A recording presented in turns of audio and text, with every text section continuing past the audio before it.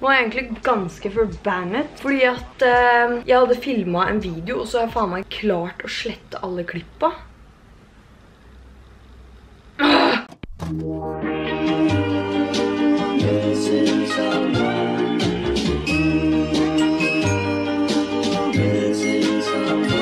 Missing someone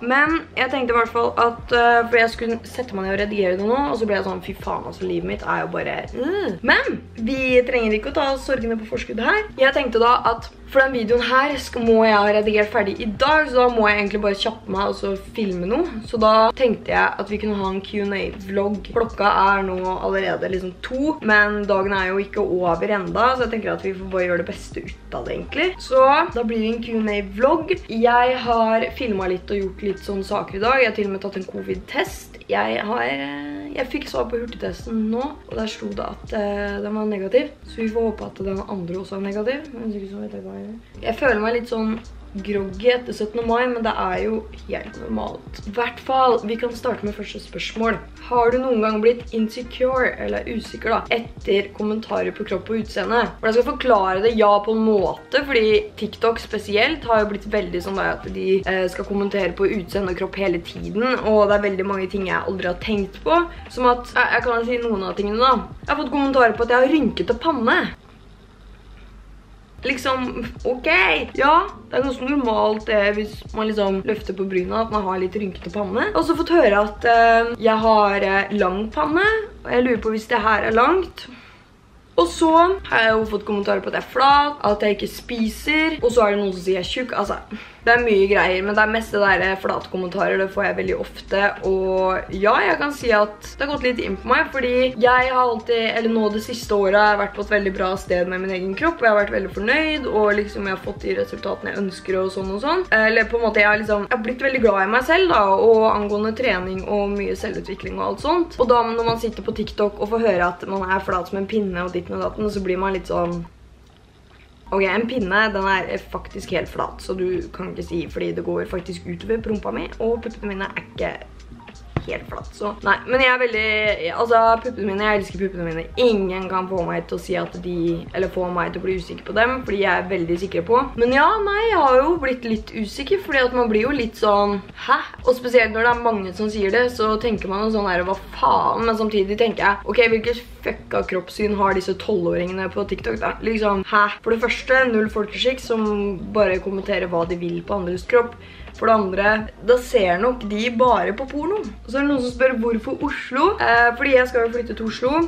Og grunnen til det er helt enkelt bare for at jeg synes det er ekstremt kjedelig her i Tønsberg. Jeg har ingen, altså alle vennene mine har flyttet herfra, og det eneste som på en måte holder meg igjen er leiligheten jeg eier. Det er det. Nei, og Oslo er mye bedre for meg jobbmessig, selvutviklingsmessig, psykisk messig. Altså alt er mye bedre i Oslo, føler jeg, og jeg har lyst til å teste det, og jeg har lyst til å utvikle meg, og jeg tror ikke jeg kommer til å klare å utvikle meg noe mye mer her i Tønsberg. Jeg trenger, jeg trenger liksom liksom å komme meg vekk da. Og så er det en som spør om jeg er redd for døden. Å nei, det er jeg ikke. Jeg har ikke dødsangst eller noen ting sånt. Jeg, synes ikke døden skremmer meg. Jeg tenker det som skjer, det skjer, og alt skjer for en grunn. Og så, jeg kan jo ikke sitte og forhindre at jeg hadde blitt påkjørt eller et eller annet en ulykke hadde skjedd. Jeg kan ikke gjøre noen ting for, for å forhindre det uansett. Så jeg tenker nå at jeg bare, jeg, må få funnet ut noe å gjøre i dag. Jeg kan ikke bare sitte og se på TV liksom og vente på at jeg skal få laget denne videoen så jeg kan få den ut, for det går jo ikke an. Så jeg tenker at jeg skal, uh, hva skal jeg? Kanskje jeg skal begynne å rydde litt og sånt. Jeg vet ikke, jeg kan jo begynne å pakke ting. For jeg, jeg, flytter jo... Ok, jeg overtar leiligheten i Oslo 15. juni, så jeg har fått meg leilighet. Den er altså så fin, så sentral, supert. Og så, men problemet er, eller det som, litt, det som stresser meg, er det at jeg overtar fem dager før jeg skal ut av min egen. Så ting må skje veldig fort, og jeg må begynne å pakke ned mye fortere. Helt liksom før jeg overtar da, selvfølgelig. Jeg må jo pakke ned masse ting og tang og sånn. Kvitte meg med ting, så jeg tenker at vi kan jo gå gjennom ting nå etterpå. Jeg har gjort det nå i et år, men vi kan begynne å gå gjennom ting. Ja, liksom bare begynne å kvitte meg med ting jeg ikke skal ha mer. Fordi det er jo mye her jeg ikke kommer til å ta med meg til Oslo. 100%. Altså, hva faen. Men det er mye lettere når jeg sitter i det og skal rydde også, og pakke ned, men... Nå har jeg fått en pakke fra I Can I Will, og til dere som følger meg på Instagram vet at jeg samarbeidet med de siden høsten i fjor. Eh, og det er mitt absolutt favoritt treningstøy. Jeg har kun det i skapet. Nå har jeg fått en svær pakke, og jeg tenkte å ha en unboxing med dere, for jeg pleier aldri å liksom vise det på YouTube og sånn. Så jeg tenker vi prøver det her først. Så det første her er dette settet her med en tights og en superfin BH. Og det jeg likte er det at det har sånn ribba kant her. unifatt der. Og det føler jeg gjør at liksom, tightsen holder seg bedre oppe, og selvfølgelig så vil den da ha en sånn hold-in-effekt. Nei, det her likte jeg skikkelig godt. Wow! Orkbjørn ser sånn her bak. Wow, nei, det her var sykt fint. Og det er en sånn sykt fin, mørk blåfarge. Og da tenkte jeg at eh, vi kunne pare det med denne genseren, som også er blå. Wow! Ok, og den her er sjukt kul fordi du kan snurpe den inn. Det er en sånn her. Du bare kan snurpe den inn sånn, og så... Ah, den her likte jeg. Perfekt. Og så har jeg en rabattkode til dere, og det er Olsen25 for 25% rabatt på hele sortimentet i en uke. Det må dere ikke glemme.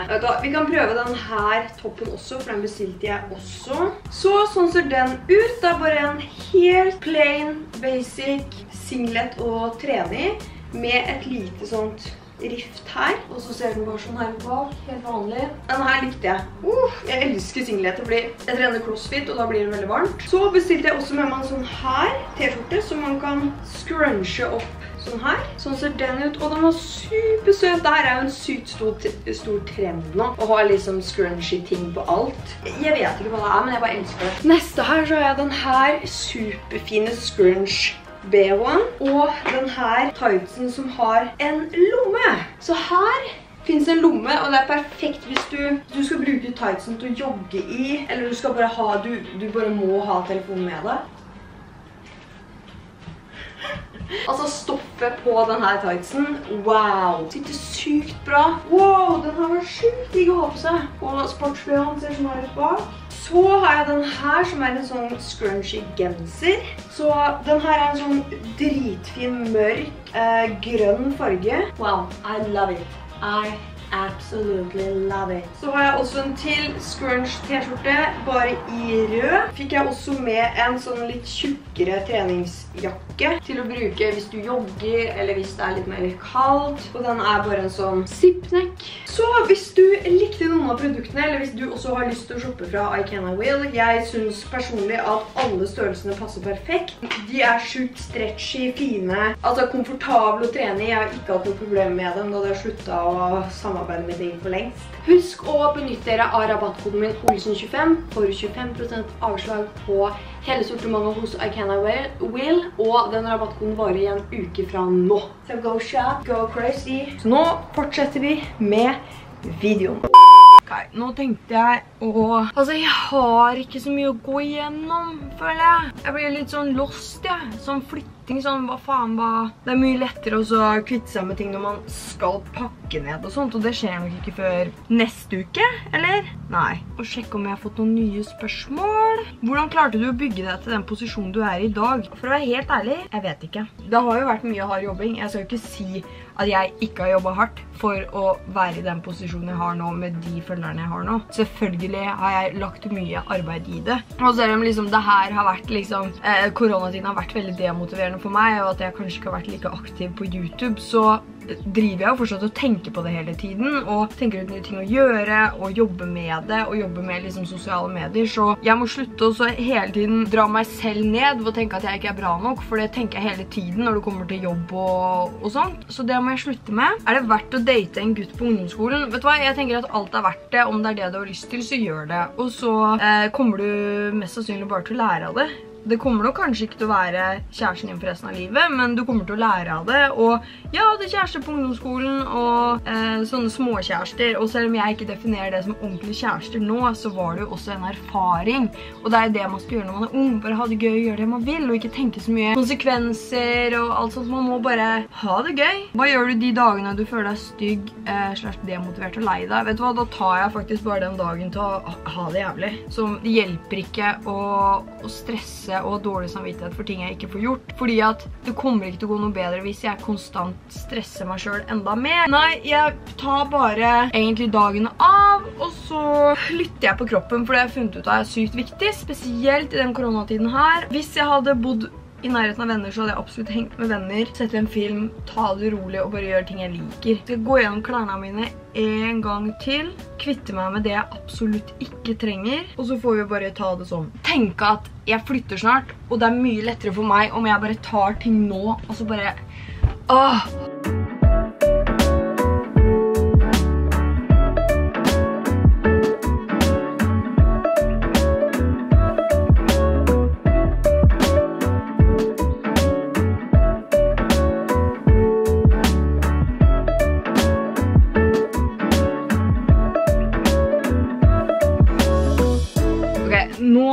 Nå tar jeg en sånn skikkelig sånn, skikkelig clean-up sånn. Nå tenker jeg sånn, hva er det jeg absolutt ikke kommer til å savne? Og jeg er veldig flink til å rense i klesskapet mitt, fordi at jeg har jo samarbeid med blant annet Junkyard hver måned, og så har jeg som sagt I Can I Will med treningstøy. Og jeg pleier også å donere det til, donere, til venner, til venner og familie, og så eh, etter det veldedighet. Så jeg selger ikke klærne mine på Thais for egen, for egen fordel, liksom. Da hadde det vært for at jeg hadde fått eh, på en måte gitt pengene til veldedighet eller noe da, så...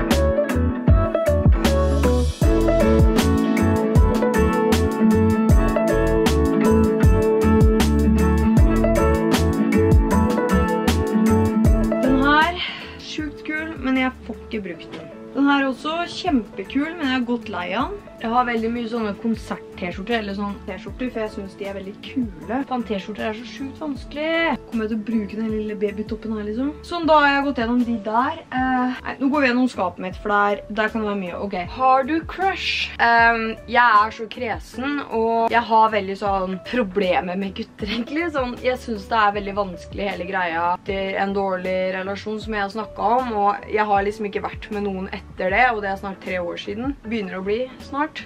Siden det tok så lang tid å liksom komme over det og sånt, og ja, jeg orker ikke gå inn på det nå, da får jeg faen meg migrene, men, men det var så mye da som eh, gjorde at jeg ble nedbrutt, så jeg har ikke, jeg har heller brukt den tida de siste to årene ish på å bygge meg selv opp igjen og bare få et godt forhold til meg selv, eh, bygge opp selvtilliten min, selvutvikling, så jeg har egentlig fokusert kun på meg selv og ikke så mye gutter, og jeg fokuserer heller ikke på gutter. Men jeg er veldig åpen for et forhold, altså jeg er veldig åpen for å kunne få meg kjæreste nå i fremtiden, sånn, hvis det er riktig og hvis jeg får følelser, så kommer jeg jo ikke til å på en måte, eller jeg kommer til å prøve så godt jeg kan og ikke presse følelsene mine unna og på en måte backe, fordi hvis det er en bra person, og hvis det, liksom, det gir meg kun bra vibes, og jeg får ikke noen sånn følelser fra gammelt av alt det greiene der, så, så har jeg jo lyst, men det er jævlig skummelt. Jeg synes følelser og kjærlighet er dritskummelt. Jeg blir helt stresset av å tenke på det. Sånn, ja, men det er en annen frykt. Jeg har vært så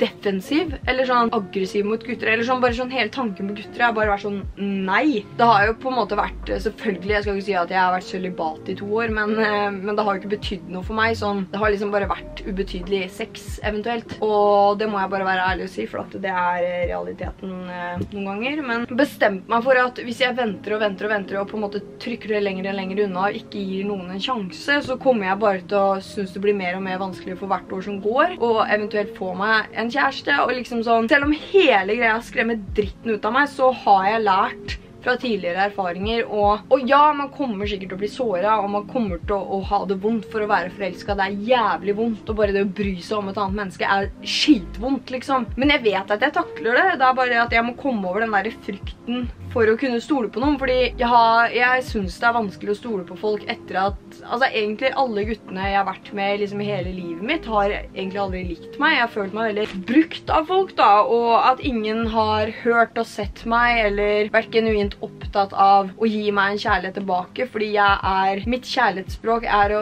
gjøre tjenester. Altså, jeg er veldig sånn der at jeg, jeg er veldig dumsnill og naiv, da. Og det er veldig mange som misbruker det, da, fordi de ser at jeg eh, er der, uansett på en måte. Og det må jeg slutte med. Jeg må begynne å sette mine egne prioriteter foran andre på en måte, og mine egne verdier foran folk. Fordi hvis ikke så lever ikke jeg mitt eget liv. Da lever jeg for noen andres skyld, på en måte. Og det skal ikke være sånn. Jeg eh, har veldig lett for å bry meg for mye om noen, og på en måte bare være der for dem hele tiden. Ikke det at det er en dårlig egenskap, men ja, hvis dere som har tatt personlighetstesten, da, den 16 personlighetstesten, så er jeg forsvarer, som er en som er mest opptatt av å gi omsorg til andre enn seg selv, på en måte. Jeg vet ikke, jeg har hatt en ordentlig kjæreste hele mitt liv, og det var jo et det er den eneste jeg tror har vært ordentlig forelsket i meg og glad i meg. Av alle gutter jeg... Av alle gutter har jeg ikke vært så... Men så jævla mange, mange gutter da, men med de guttene jeg har vært involvert med tidligere da, så var det liksom det forholdet på to år som ga meg noe. Som ga meg kjærlighet og trygghet på en måte. Og jeg er bare veldig redd for at jeg ikke finner den tryggheten i en person. Og, det der å kunne stole på og bli hørt og lytta til og sett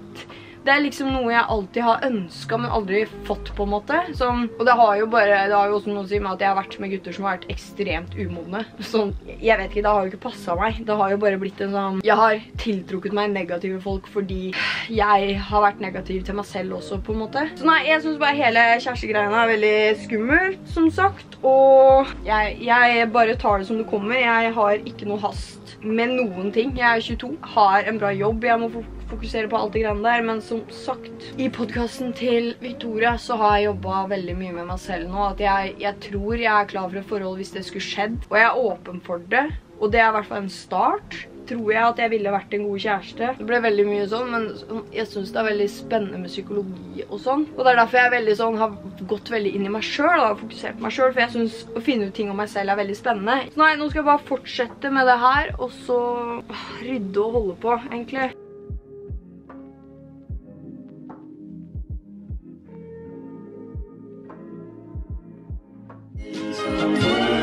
Missing someone